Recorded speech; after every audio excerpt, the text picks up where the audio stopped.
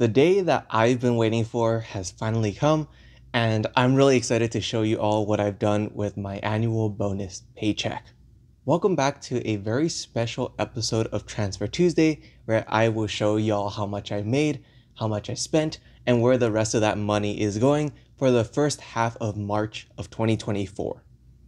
A very special welcome back to the exactly 13% of y'all who are subscribed. And if you're new here, I'm Raymond, a software engineer on the path to financial independence and retiring early. If you'd like to follow me on my journey, feel free to hit that subscribe button. It really helps out the channel, so thank you so much in advance. Without further ado, let's start with my income and let's start in reverse order this time, starting with my HSA, which hasn't really changed and it's staying at $131.25 for the first half of this month. Next, let's move on to my paycheck, $3,460.63.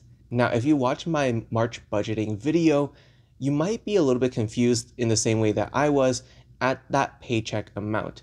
Even if they tax it at a higher rate, something doesn't add and I was confused about this for a while as well until I took a closer look at my pay stub and realized that they put 40% of my bonus into my 401k in the same way that 40% of my standard paycheck goes into my 401k. So, with that being said, my 401k for this half of the month is $3,061.19, which is about double of what I usually put in for an entire month in one paycheck. The bonus money is still significant, even though it's not necessarily life changing money. And I'm kind of glad that they put it into my pre tax account and didn't tax me on that portion of my bonus.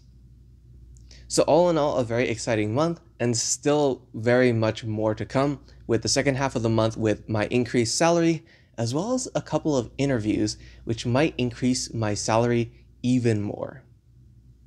But along with my income, I also have expenses. But for the first half of the month, it's been a little bit interesting for some of my categories. Let's start off with rent, which hasn't really changed at 1587 for my base rent, plus all the additional fees that my apartment complex adds on top. After checking my statements, I realized that it was actually 1587 and not 1579 as I've been talking about for the past couple months now, which means that my budgets and my transfer Tuesdays have been a little bit off, but water under the bridge. Next, we have my transit, which I have spent $20 on so far. Again, I don't own a car, thankfully. It is a little bit restrictive since I'm not living in one of those car free utopia parts of the US, but I still managed to make it work here. Finally, for groceries, this is the kind of surprising part, but for the first two weeks of groceries, I've managed to only spend $83.81. The reason why I've spent so little is actually as a result of two separate things. The first one is just generally spending a little bit more in previous weeks and months and keeping a little bit of a backlog of some of the more expensive items such as protein. The other reason why I've been able to save so much for my groceries for this month is because my American Express Platinum card has a credit monthly for Uber, which can also be used for Uber Eats, which can also be used for Uber Eats groceries. And sometimes they also have that in conjunction with a particular 40% or 50% coupon for groceries.